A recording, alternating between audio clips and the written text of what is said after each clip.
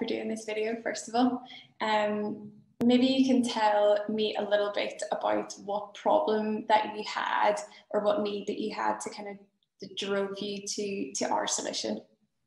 Yeah, for sure. Uh, so I founded Sales Playbook two years ago, March 2019, uh, to help entrepreneurs um, ramp up their sales quicker and uh, build up the company to 20, 30, maybe sometimes a bit more K monthly revenue. And at one point being like a one person show, even get hiring my first sales rep, uh, operations um, break maybe a bit at one point. So I was really reaching out to basically uh, ask for some standard operating procedure and so on but then what we actually discovered together was it's much more helpful if there's certain work packages like that. I know this needs to be done, but I don't want to orchestrate the whole process because it's a lot of mental load for me as a founder, as an entrepreneur.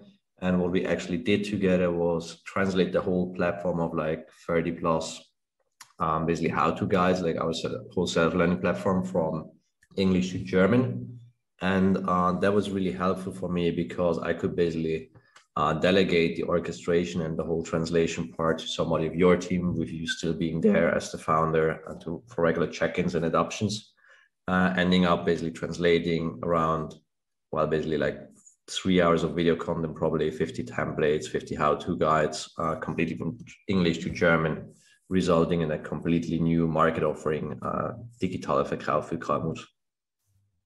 Okay, great. And can you tell me a little bit about what that meant to you as the founder of the business? Um, if you were to quantify that value, what what did that allow you to do?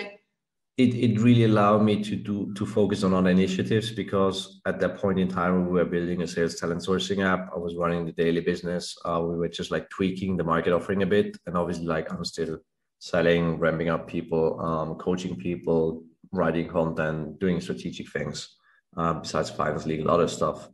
This just allowed me to take a large chunk of work that's strategically important, but I don't have like the, the mind to do it uh, off my plate and basically still get sure it actually gets done professionally. Okay, great. And um, if you were to kind of share some of having used the service and and tried using the service in different areas of the business, if you were going to share some insights into um, what works best uh, for anybody kind of listening to this video? What did you? Yeah, for sure. For sure, I think that depends a bit on the buyer persona, so to say, like who's working with you. I personally, after four years of of basically tech consulting and project work, would consider myself like fairly structured. So it's not that I never basically built a standard operating procedure. So for me, that was less valuable than for others. For me, it was literally this getting a whole chunk of work and just like sourcing it off while still basically not outsourcing it completely, but getting like useful questions on back and feedback loops, what what works and what not, and why we should do something a certain way. I think for a lot of like tech entrepreneurs out there, but also KMUs, the um, you are in a really like good spot between like a virtual assistant over um, Upwork and so on, which is not feasible at all for like a Swiss KMU, for example, and um, somebody that you need to hire full time as a as a kind of like head of operations or like head of admin um, to to back that up. Uh, because what I really appreciated was your flexibility and basically like take on things, um, execute them self sufficiently, and also bring in new inputs how existing procedures can be improved. Mm. Okay, great. And there you mentioned uh, the kind of those traditional freelance platforms, Upwork um, and Fiverr and things like that. Why did you choose to go for our model rather than to go for those traditional freelance platforms?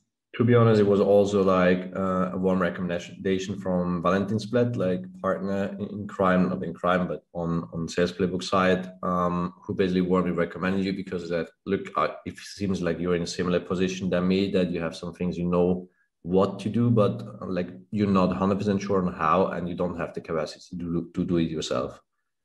And I just thought, let's give this a shot because you're in a in a really attractive range. Like it's not like 200 bucks an hour. It's also not 10 bucks an hour. So much I can say, I guess. Um, but it's it's still affordable to basically run things um, as long as you estimate your internal hourly rate yourself as a higher rate than somebody from your side in UK. or at a like less niche um, yeah. basically expertise. Yeah. Okay, great.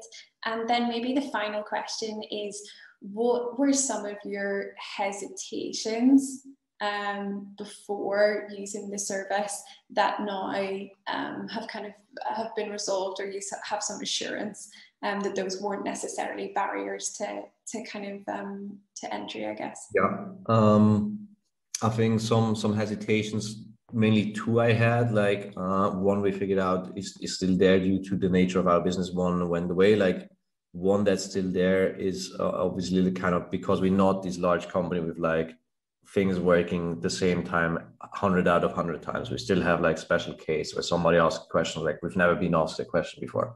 So it's it's not possible for us to outsource that as we need to take a, a business decision on that the one that went away is basically like will you understand the business well enough and be self-sufficient enough to not increase friction but to reduce it which was especially true for this translation work on the whole platform?